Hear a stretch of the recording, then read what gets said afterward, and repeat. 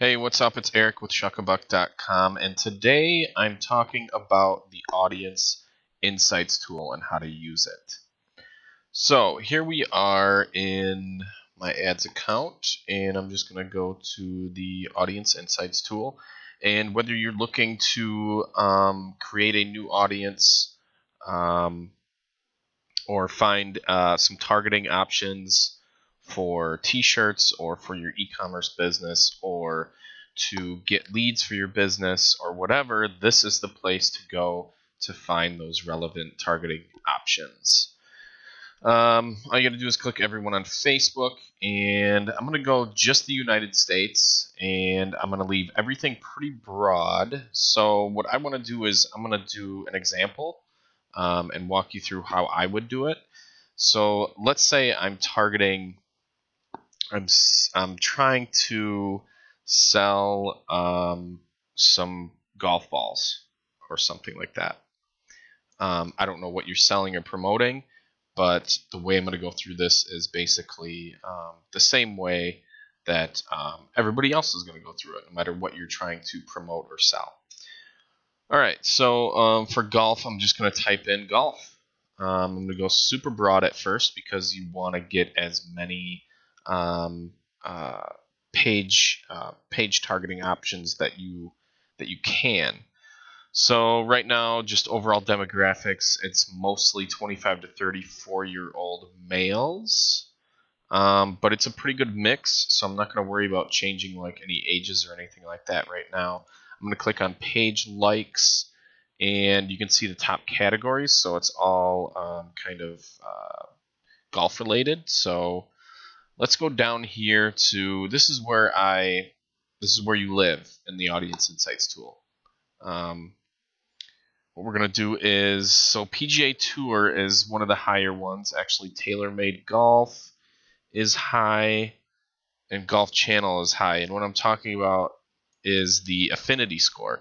The affinity score tells you how likely someone is to um, respond, engage to an ad.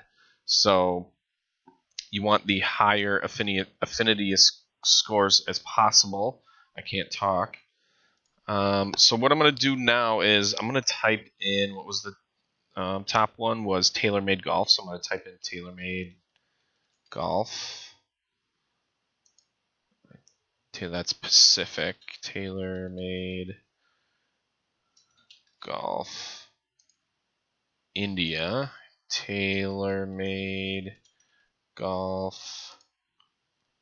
TaylorMade Adidas, I think, is the one that we're looking at here.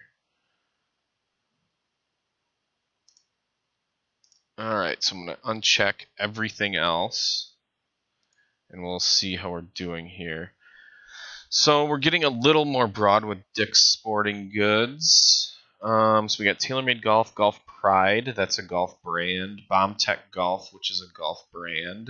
So um, let's try Bomb Tech Golf and see what we get here, if it's in here. And it doesn't look like it is.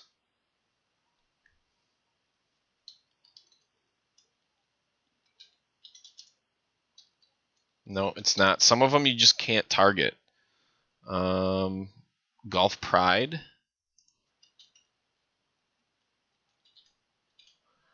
Golf Pride and get rid of TaylorMade. Now we're getting somewhere. All right, so we have Golf Pride at 280 for affinity score. That's pretty high. Um, I've seen higher, but um, we're getting somewhere now. GolfLocker.com 91, Golf Global or Global Golf Post, True Temper, Golf WRX, Golf Balls Unlimited. So um, we have a lot of targeting options. So what I would do with this is I would jot down a bunch of these that are have really high affinities and use them in my targeting um, for um, my campaigns. So how you want to set up your campaigns is um, you have one objective for your campaign and you have multiple ad sets in each campaign. So if you want really want to test your um, targeting options, each one of these pages would be a separate ad set. So um, if it's a brand new campaign, I suggest going $5 a day until you see which targeting options, which ad set is performing the best.